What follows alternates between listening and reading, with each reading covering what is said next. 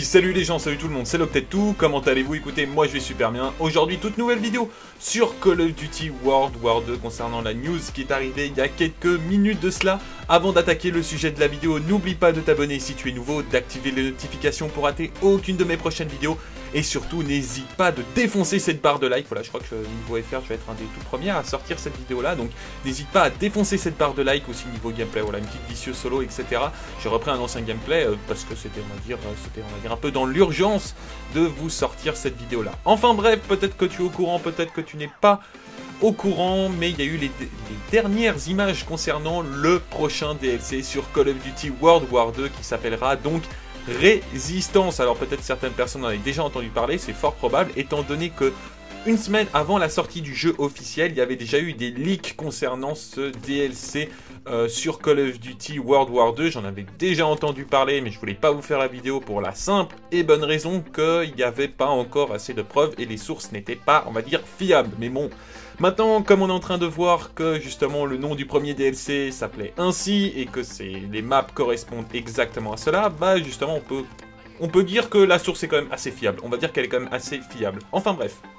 Donc aujourd'hui, on va se retrouver donc pour une preview. Alors je vais vous dire oui tout de suite une preview, c'est-à-dire que vous avez déjà l'ensemble des choses qui vont se passer lors, lors de ce DLC 1 sur Call of Duty World War 2, mais ça ne sera pas tout. Ça veut dire qu'il y a encore d'autres choses. On, a, on nous a présenté que 3 map multijoueur, vous savez très bien qu'il y en a 4, donc il y en a une qui reste cachée pour le moment, mais bien évidemment, ils nous ont présenté l'essentiel. Il y a également la map zombie, donc il y aura juste quelques petites images que je vais vous montrer. Je vais vous montrer une image du mode zombie, excusez-moi, mais euh, on connaît toujours pas le nom de la map, etc. Enfin bref, peu importe.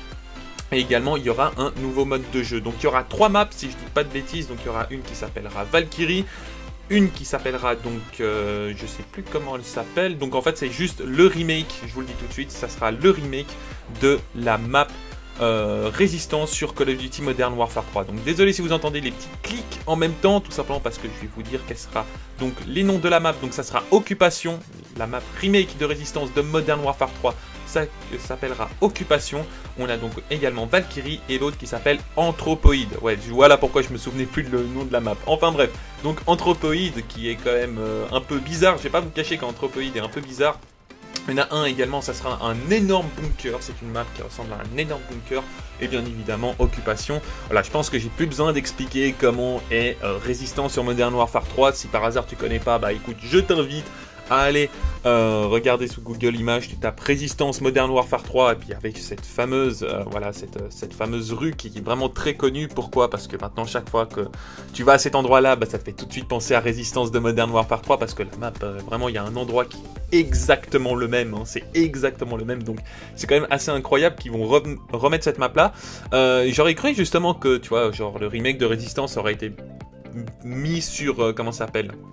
Sur Infinite Warfare, parce que c'était Infinity World qui était derrière, et ben finalement, finalement c'est Sledgehammer qui a décidé de le reprendre. Pourquoi pas après tout, c'est une map mythique, en espérant que ça soit pas trop trop trop trop gâché, parce qu'il faut savoir que quand même Résistance, il y a pas mal d'endroits de head glitch, etc. Donc j'espère qu'ils vont pas rajouter encore plus de maps de head glitch, parce que ça serait vraiment dommage, parce que je surkiffe cette map là.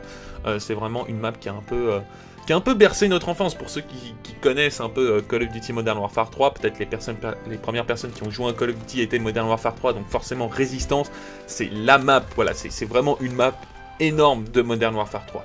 Enfin bref les gens, c'est la fin de cette vidéo, j'espère qu'elle vous aura plu. N'hésite pas à partager partout cette vidéo à tous tes potes, voilà, comme ça tu sais qu'est-ce que va être le prochain DLC sur Call of Duty World War 2. Moi je vous dis à très bientôt pour une vidéo sur Call of Duty Black Ops 3, étant donné que j'étais censé vous sortir aujourd'hui la vidéo sur Black Ops 3 et qu'au final bah, je sors une vidéo sur Call of Duty World War 2 concernant la news. Et j'espère en tout cas que cette vidéo vous aura plu. Puis moi je vous dis bye et à la prochaine. C'était Loctet2. Peace out.